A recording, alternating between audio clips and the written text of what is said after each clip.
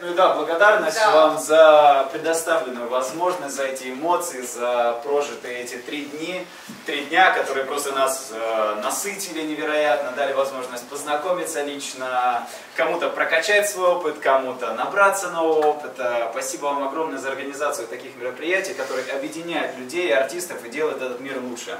Спасибо вам огромное. Спасибо.